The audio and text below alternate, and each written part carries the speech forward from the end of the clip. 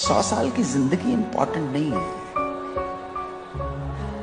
वो ज़िंदगी के दस बरस भी जिए हैं तो कैसे जिए वो इंपॉर्टेंट है। जियो तो ऐसे जियो जैसे सब कुछ तुम्हारा है, मरो तो ऐसे मरो कि जैसे तुम्हारा कुछ भी नहीं है।